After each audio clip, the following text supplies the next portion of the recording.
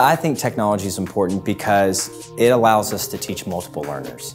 Um, when if I didn't have technology, I'm up there having to create multiple worksheets, getting different levels of books out. But technology, it adapts for us and it allows us to hit lots of learners and it gives us that uh, freedom so every kid can learn.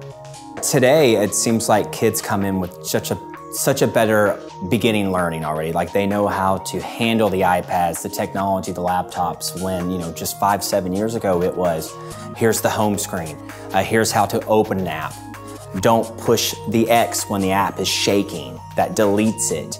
So just having kids have it at home, it's just made them more comfortable here with it. And it takes a lot of the beginning learning of just how to handle something. It's like, we don't have to teach kids how to open a book. They have books at home, and now it's just as accessible as a book, a tablet, or a laptop.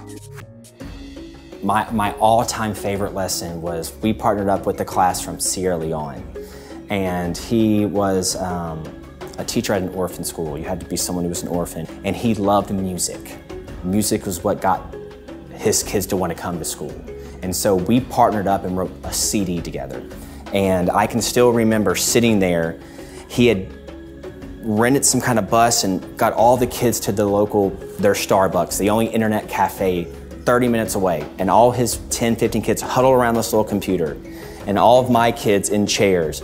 And we started singing the songs we'd written together.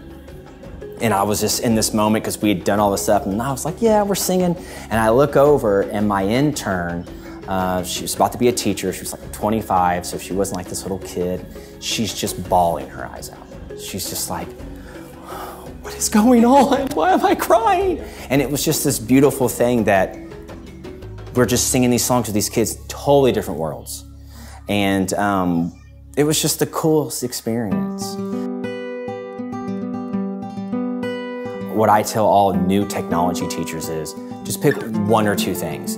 You're gonna hear 10 to 15 amazing ideas.